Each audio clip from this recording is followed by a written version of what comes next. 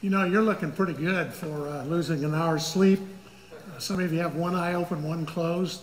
People won't know whether you're praying or not that way. That's pretty good, I guess.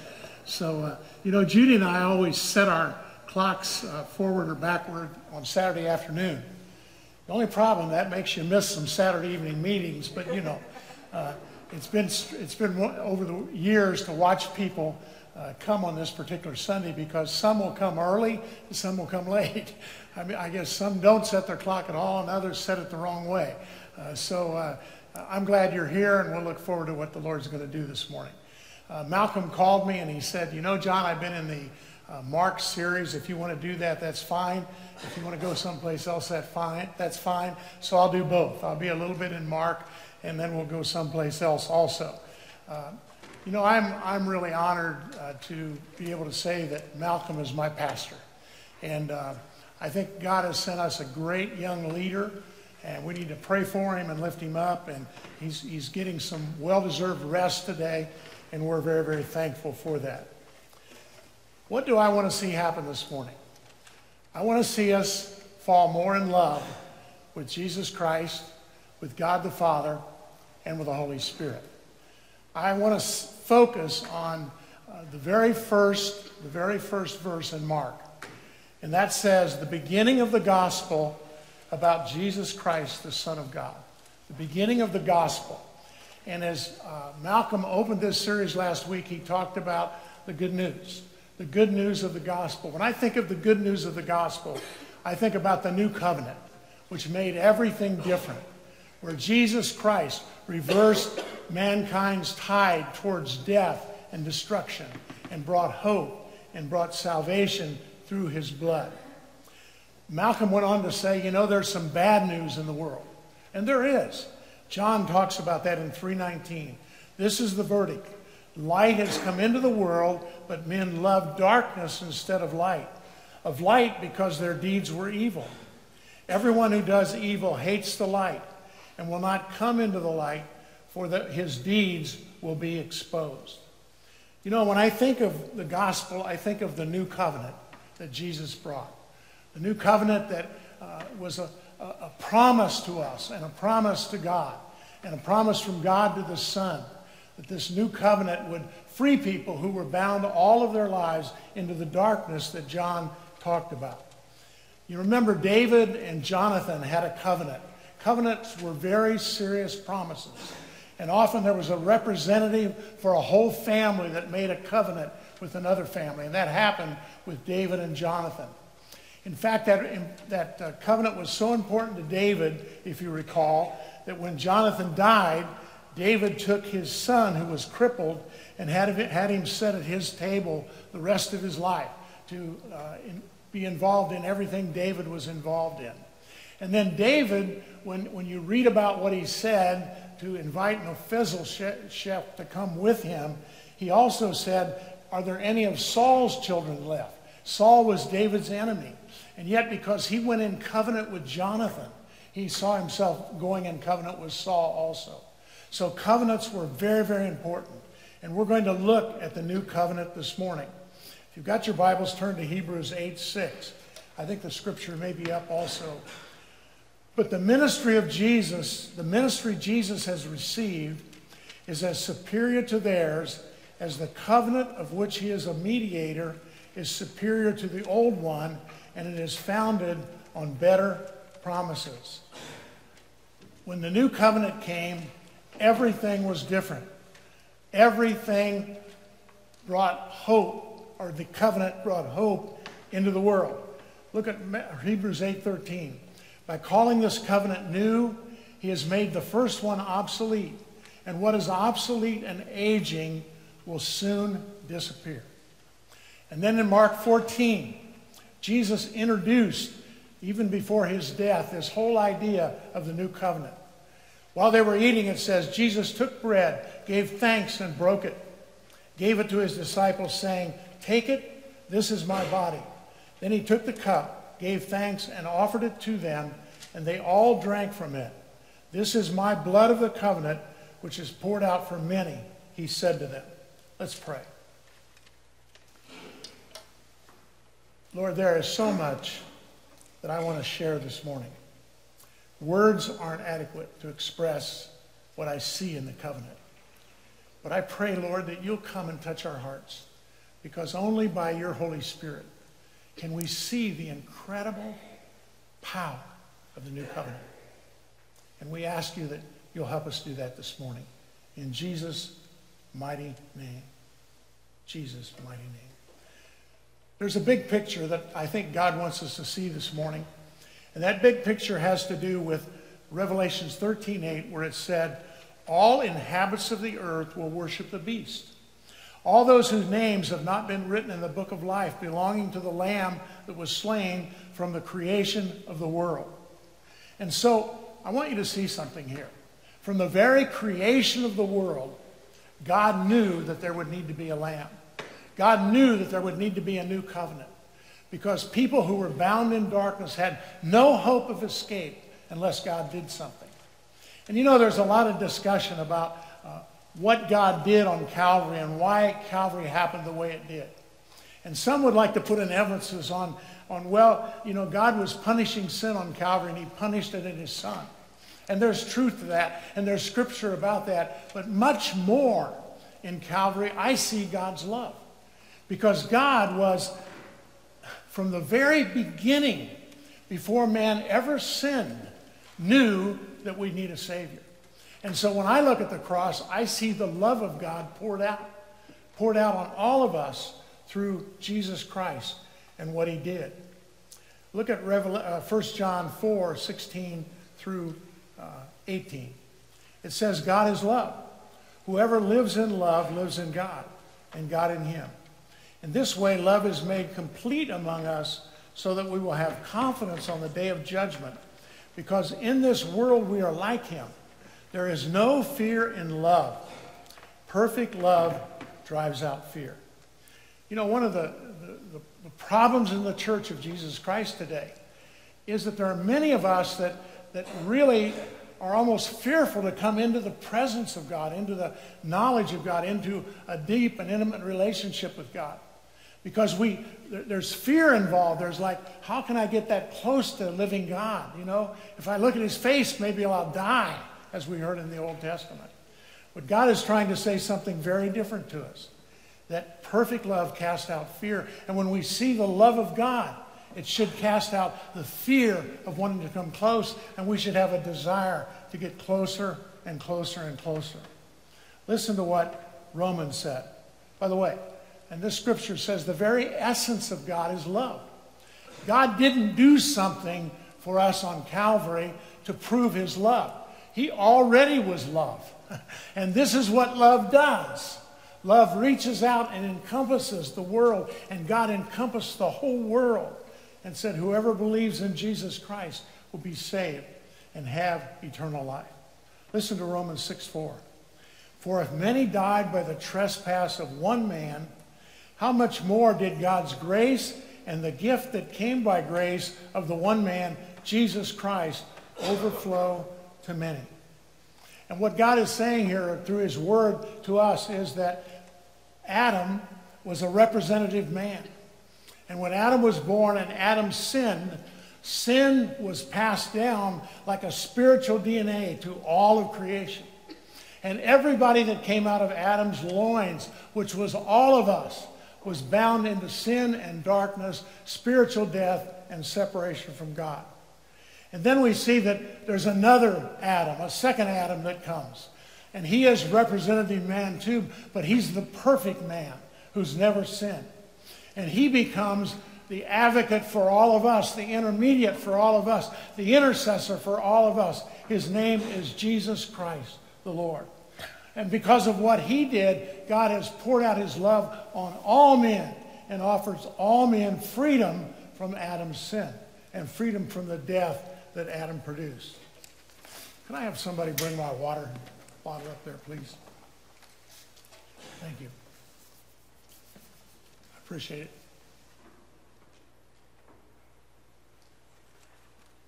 Thank you, brother.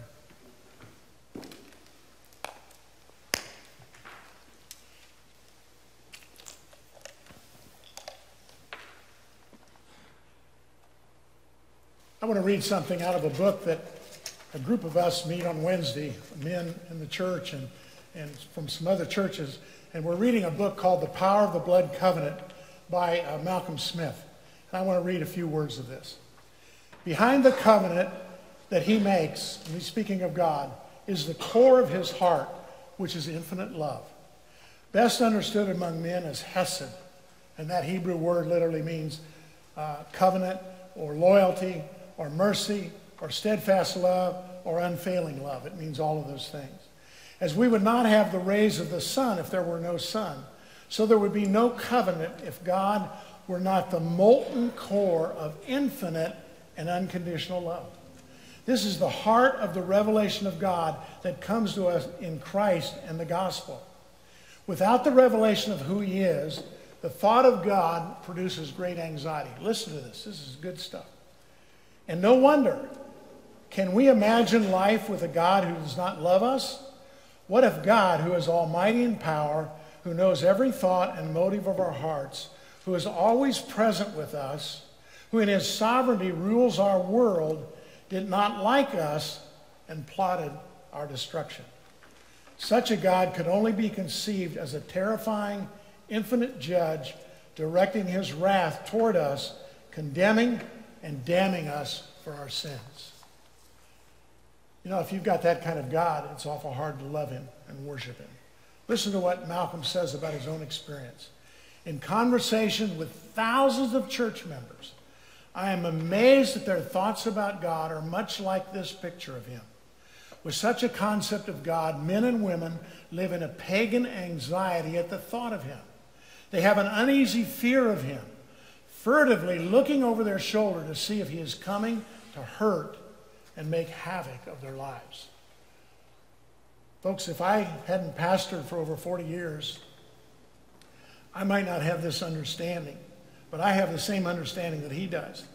That as I've pastored year after year after year, I've seen so many people that are, are fearful of moving close to God. And I've seen so many people that feel like they've got to earn and deserve the love of God, and they're on this, this hectic pace, many times doing good things, trying to get God to say, I, I'm pleased with you. And they just, no matter how much they give and how much they do, they can't do enough. And they've got to keep all the commandments, and they're working hard to keep the commandments, and they, they keep dropping balls, and they know God doesn't like them anymore because of the way they're performing.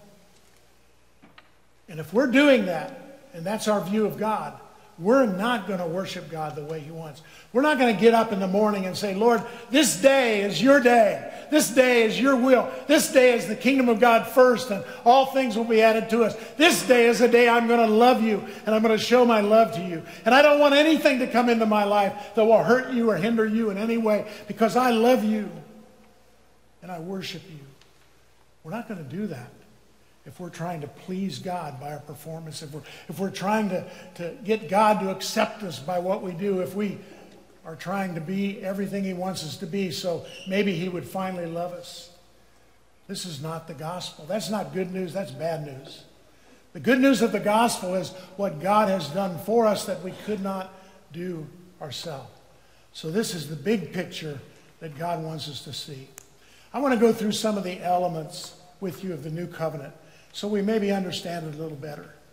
Jesus said in John 4 or in uh, Mark 14, "Take and eat. This is my body." He was talking about the brokenness of his body when he went to Calvary. Listen to Hebrews 8, 11 through 12.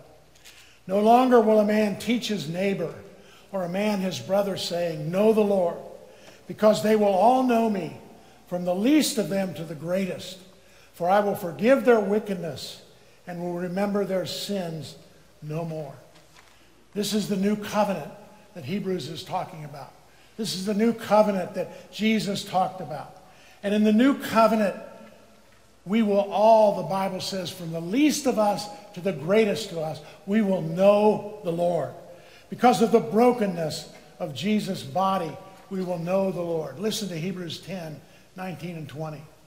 Therefore, brothers, since we have confidence to enter the most holy place by the blood of Jesus, by a new and living way opened for us through the curtain that is his body. And since we have a great priest over the house of God, let us draw near to God with a sincere heart in full assurance of faith, having our hearts sprinkled to cleanse us from a guilty conscience. You know, this Bible equates the bo- or this scripture equates the body of Jesus with the curtain, the body of Jesus with the veil that was over the temple. And when Jesus' body was broken on the cross, you remember that temple veil that kept people out of the Holy of Holies was rent and split right down the center. Just like the broken body of Jesus split as the way it was with the spear and the crown of thorns and, and, and the nails that were in his body. And that, crown, that, that temple veil was rent, opening up a way into the very Holy of Holies, where we could all have an intimate relationship with God and we could know God and that word, knowing God, all will know us, from the least to the greatest. That word in the Greek is a word that's used for the most uh, intimate human relationship in the marriage relationship. And now we can enter into that same intimacy with God. You remember on the Emmaus Road, the disciples that walked there? And they were downtrodden because of the crucifixion, and they were trying to find some hope. And this stranger came along and walked with them, and we learned later it was Jesus, but they didn't know who he was. But they had a conversation on the way, and it says their hearts burned within them. And then Jesus had a fellowship meal with him. Remember that? And, his, and they, they didn't know him at this point, but as he broke the bread, they knew him. They knew who he was. And in the breaking of the body of Christ, in the breaking of the, of the bread of his body, in the breaking of the curtain of the temple, we have access to God and we can know who God really is. Oh Lord, give us some of this manna. You want some of that? I want some of that manna, that manna that I might know him intimately and personally. Secondly, the blood covenant. He said, This is my blood in the covenant. One of the places that I've gone many times is the Kali Temple in India, in Calcutta. The Kali Temple, I feel, is one of the high vortexes of Satan in the whole world. It's the uh, epitome of the Hindu worship, and there they worship the goddess Kali. And Kali is a goddess who, if you see her, she's horrible. She's got all these people that she's holding their chopped off heads. And the reason she's holding them because they wouldn't be subservient to her. So she was very, uh, would be very upset with them and it would cost them their lives. So what they do in their worship is they appease her in different ways. One of the things I saw happening was that in the Kali temple they, they were uh, sacrificing goats. And they would take the blood of the goats and they would take them inside of the temple and, and they had uh, posts that had cloth on it of some kind, and they would put the blood all over that cloth so it was just soaked in it. And people would come in and they would take their babies' heads and they would rub them through that blood. I wanted to shout so bad, the blood of Jesus Christ. But I wonder, in many of these cultures that uh, don't have an understanding of who Christ was, if there isn't some whisper from their past of the fact that without the shedding of blood, there is no forgiveness of sins. Hebrews 9:22. In the fact the law requires nearly everything to be cleansed with blood, and without the shedding of blood there is no forgiveness. Maybe there was a whisper there that goes clear back to Adam. Where you remember Adam and Eve was they were unashamed until they sinned and then they were uh, in shame in the garden and, and they clothed themselves with some fig leaves. God came along later and he reclothed them with animal skins. We might say, well, God just wanted him to be more modest. I, I think there was something more to it than that. See, without the shedding of blood, there's no forgiveness of sins. And I think the, the wrapping of those skins on Adam and Eve would, would be pointing to something that was going to happen years down the road where Jesus Christ would die on the cross and pay the penalty for all of our sins. And when, G, and when God looks at us, he sees the person of Jesus Christ.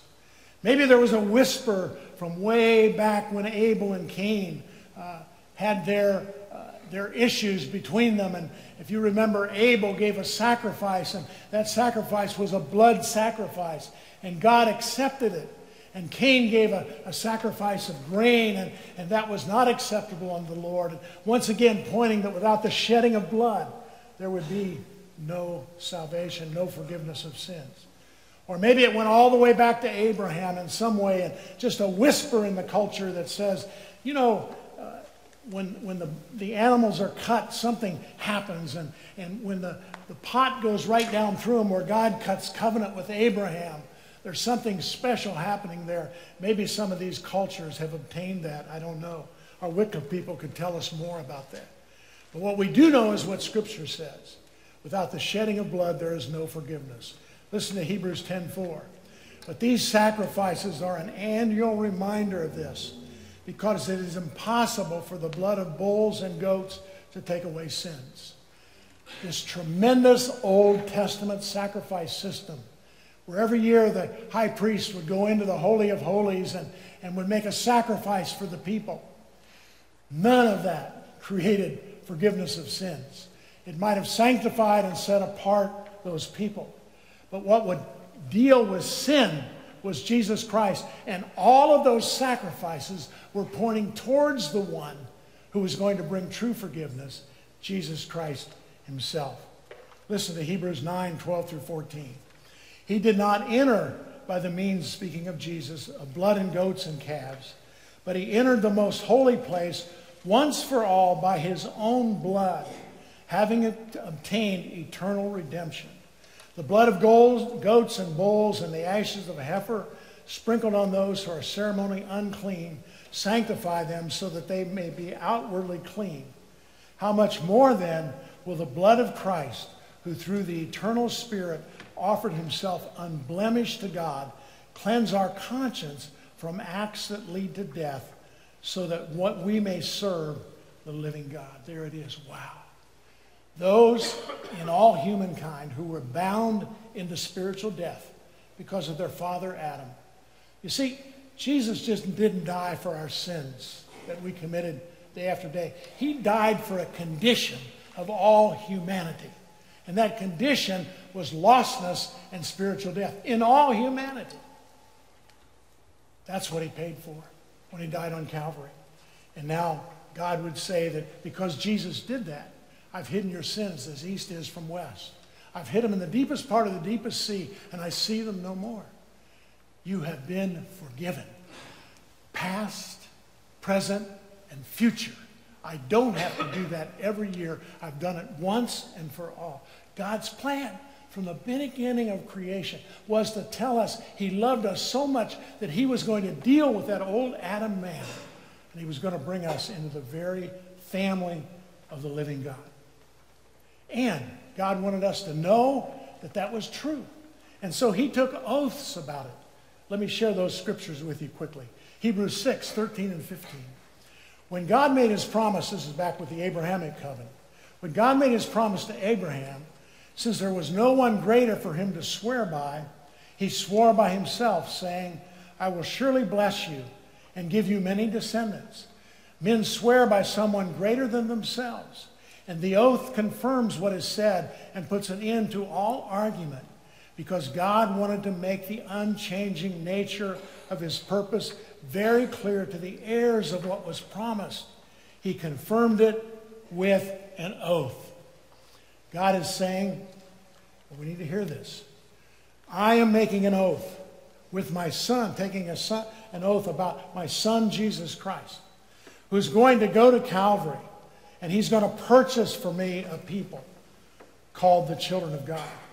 And the son would make a promise to the father Father, I will be obedient go all the way to the cross until I say it is finished when the debt of sin is paid in full.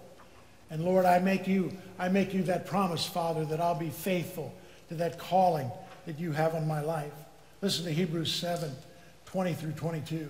And it was not without an oath Others became priests without any oath, but he became a priest, speaking of Jesus, with an oath when God said to him, The Lord has sworn and will not change his mind.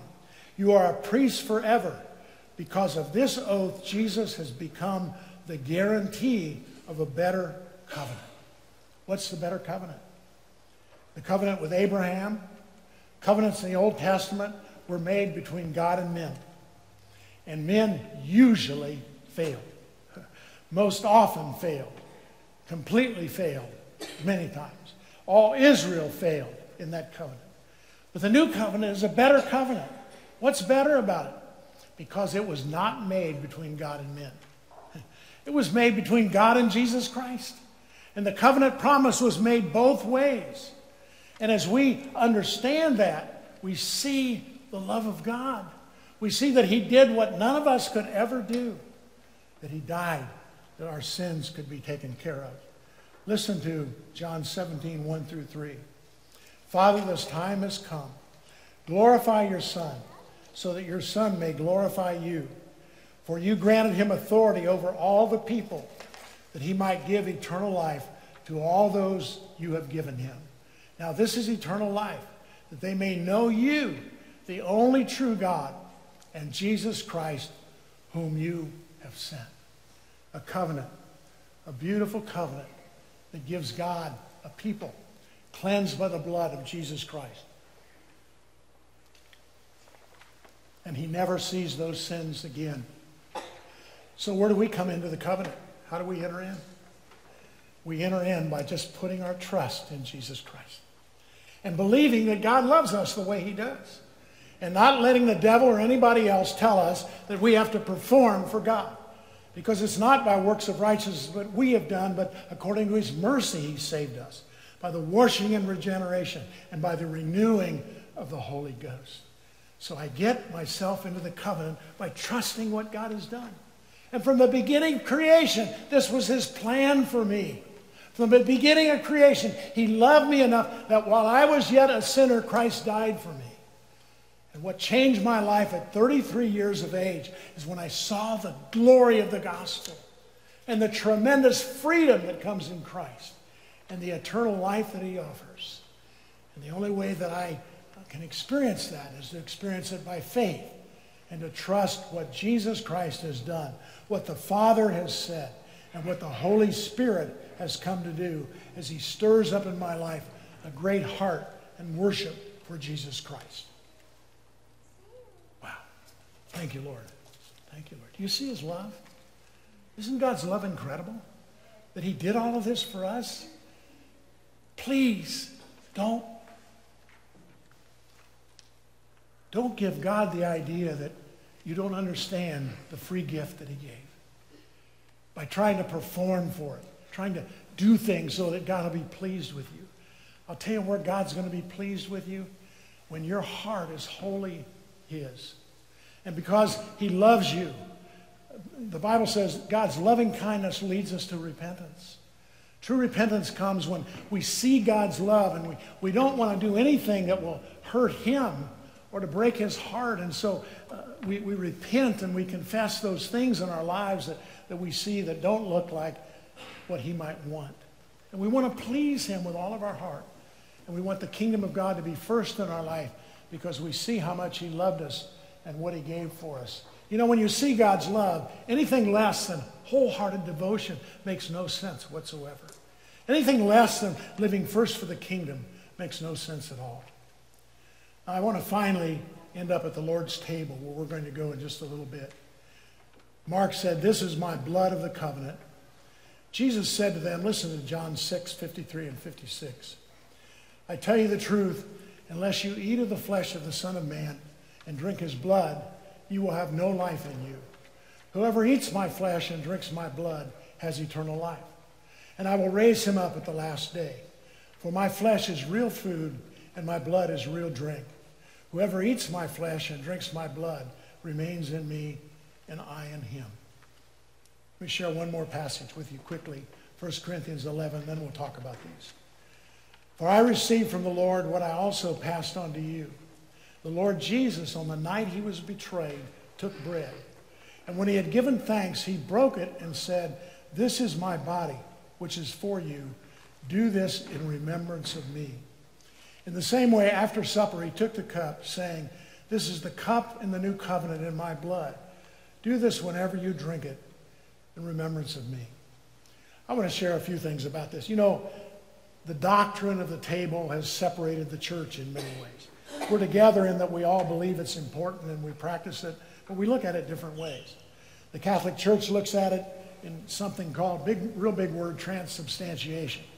And they look at the fact that when uh, the elements are taken, there's a miracle that happens.